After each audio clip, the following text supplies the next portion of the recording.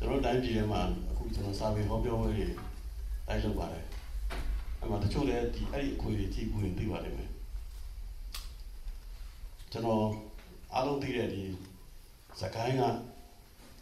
ဒီဘက်ကျွန်တော်တို့တောင်မြို့ပေါ့မန္တလေးကိုဝင်မဲ့နေရာမှာတပြေတန်းခန္ဓာကိုတော်တော်များများသိကြပါလိမ့်မယ်အဲ့တပြေတန်းခန္ဓာကခုခံခြင်း နောက်ဆုံးခန္ဓာမှာခုခံခြင်းဆိုပြီးတော့တပြေတန်းခန္ဓာကိုတက်ရခြင်းဆိုပြီးတော့လည်းကျွန်တော်ဟောပါတယ်အဲ့ဒီခေါင်းစဉ်နဲ့ကျွန်တော်အဲ့ဒီအမရပူရမှာပဲကျွန်တော်ဟောပါတယ်အဲ့ညမှာပရိသတ်ကကွေးလုံးဖြစ်တွေ့ရတယ်နောက်ဆုံးခန္ဓာမှာခုခံခြင်းဆိုပြီးတော့ကျွန်တော်တော်တော်အဲ့ဒီခန္ဓာတက်ဆင်းပြီးတော့လေ့လာထားတာလေကျွန်တော်ပြောမယ်ပြီးရင်ဒီနေ့ခေတ်နဲ့ကိုက်ညီနေတဲ့တိုက်ဆိုင်နေတဲ့အချက်တွေကျွန်တော်ပြောမယ်ဆိုပြီးတော့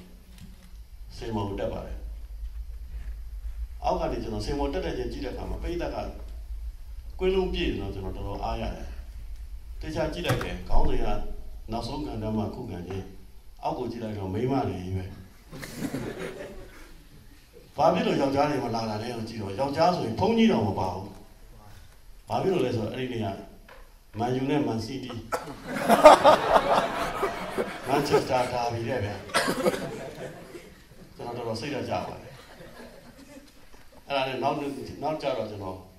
တော့တော့ဖြစ်တာမိမတွေကိုအားကိုးပြီးတော့အမျိုးသမီးတို့အင်အားနဲ့နိုင်ငံသစ်တည်ခြင်းဆိုပြီးတော့ကျွန်တော်တတ်တတ်ရေးတယ်ကျင့်တယ်ပြီးတော့ဟောပြောပွဲလုပ်မယ်တက်သွားတယ်မိမတွေမရှိပြန်ဘူးမက်တီလိုက်ရင်တော့မပါပြန်ဘူးဘာနေလဲဆိုရင်တော့ကိုရီးယားစီးရီးရဲ့စက်သိန်းကန်းနေပဲအခုဒီနေ့လဲကျွန်တော် တတိယလို့တွေးလိုက်တယ်ဟာဒီနေ့ဘယ်နှစ်ရက်နေလဲဆိုတော့25ရက်နေတယ်တေပါပြီဗျာချန်ပီယံလိဖိုင်နယ်ကြီးဒီနေ့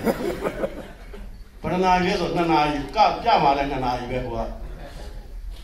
ဒါကျွန်တော်ခမ်းပါနဲ့ဝင်လာဝင်ရတယ်ကိုယ်တကောင်ကြောင်လို့မိမမရှိရင်တော့ငါတော့ဒုက္ခရောက်တော့တော်ပါသေးတယ်ဒီနေ့နယူးယောက်မြန်မာဖုတ်ဘောကလပ်ပေါ့နယူးယောက်မြန်မာ United အသင်းကချန်ပီယံလိကိုနိုင်သွားတာပေါ့ တော်သေးတယ်ဟ